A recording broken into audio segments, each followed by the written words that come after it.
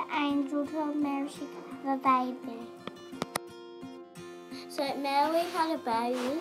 So um, the angel said Mary was gonna have a baby, and then and um and and Mary was like, oh my gosh, I didn't know that.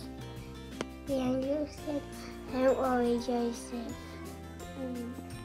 Joseph was good because Mary was having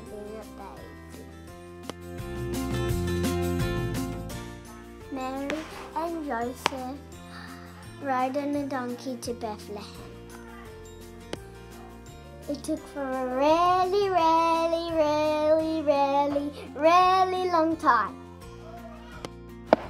When Mary and Joseph got to Bethlehem, all the inns were full. There was a special innkeeper that said, um, you can stay our stable. I think and Joseph are really happy.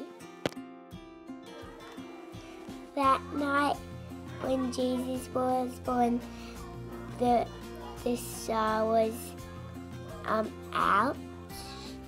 The three wise men hopped on them camel, camel and them headed to see the star to see baby Jesus being born.